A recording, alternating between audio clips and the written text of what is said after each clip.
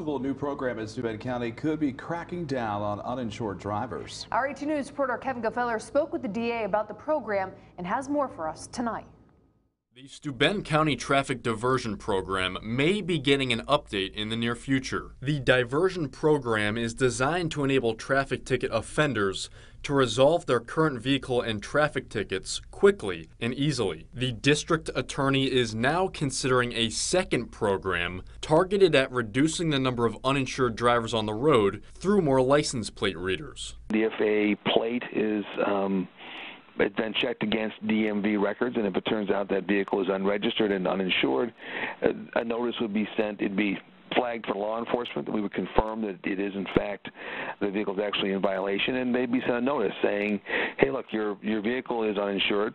Uh, that's a violation of the law. Uh, that violation of the law carries with it the possibility of a license suspension, a $500 civil penalty, as well as the the penalties that go with the ticket, and and you're uninsured, which is unsafe and, and puts all the rest of us at risk." The offender would then have the choice of attending an educational class on insurance, where the ticket would be waived. The cost of this program would be half of that it would cost to face the civil penalty and ticket. Baker saying he is not sure when this would go into effect, but it could be soon. I would expect it'll take us several months to uh, be in a position to to into effect if we're in a position to do it. Obviously, we are we're working with our county attorney and our legislature to make sure what we do is lawful uh, and that um, you know everything we do maximizes the ends of, of public safety.